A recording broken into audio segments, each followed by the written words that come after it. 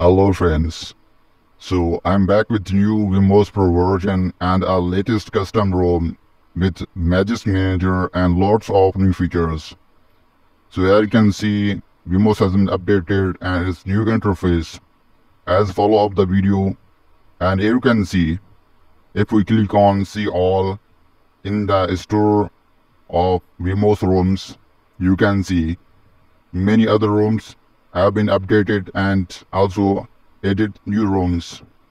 To install my ROM, click on the three dots and click REC the VM option. Now allow the permissions and here you can see I am going to provide this Magisk Manager ROM. Also maybe these two. Click Start Recovery.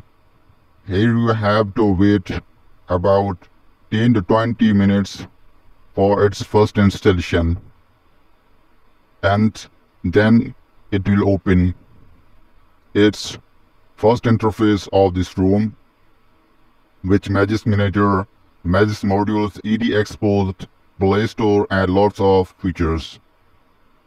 Also, let me tell you it's Android 9 version.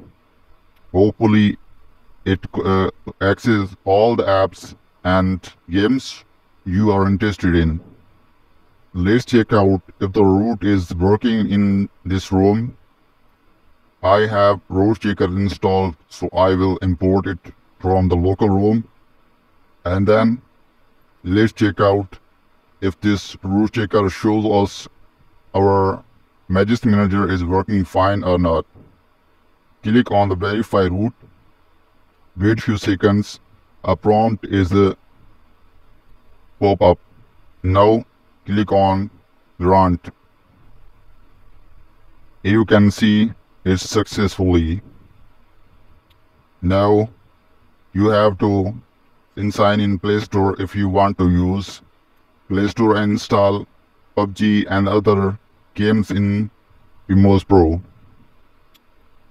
Also, let me tell you, Magisk Manager installed and working successfully, but it's old version. So if you have information about some coding, you can update it or just wait. I will share a newer version and with new custom ROM. LSPosed version is working fine. It's activated successfully and you can use it and its modules. As well, EdXposed is working fine. It's also activated and it's all the modules are working fine. Hopefully this video was helpful. Please subscribe the channel and like the video, share with your friends.